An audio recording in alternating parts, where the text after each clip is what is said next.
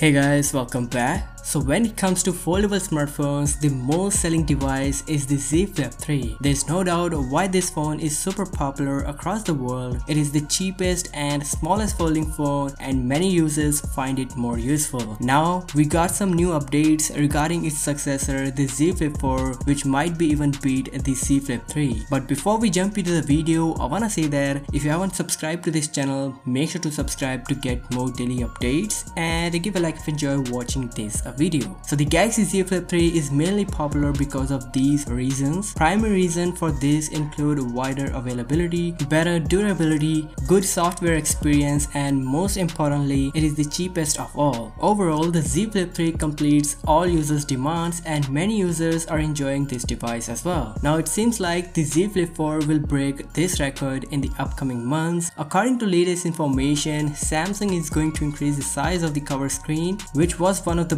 biggest drawback in the Z Flip 3. And according to Ross Young, the Z Flip 4 will get a little bigger outer screen but he didn't mention exact number. Although he says it'll be more than 2 inches. If this turns out to be true, we can expect the company to allow users to make good use of the outer screen with new software features. Moving on, the next big drawback for the Z Flip 3 is the battery size. As we know, the size of this folding phone is very small due to which it compromises on the battery size. But according to new report, Samsung Galaxy Z Flip 4 with model number SMF721 will come with two batteries. The first battery is a sub battery with a rated capacity of 2400 mAh while the second one is the main one with a rated capacity of 900. Therefore, the overall battery size will be around 3400 mAh which is slightly higher than the Z Flip 3. So it looks like the typical battery capacity of the new model will be at least 100 mAh higher than its predecessor. Also, this phone will be getting the latest Snapdragon 8 Gen 1 Plus CPU which is pretty power efficient and high performance processor. So 100 mAh increased battery and new chipset will help together to increase the battery backup of this smartphone where we can expect this smartphone to run a full day on a single charge. So that is it in this video guys. Do let me know your thoughts in the comment section. What do you feel about these updates for the Z Flip 4 and if you enjoy watching this video then do give it a thumbs up. Also subscribe to this channel for more daily updates.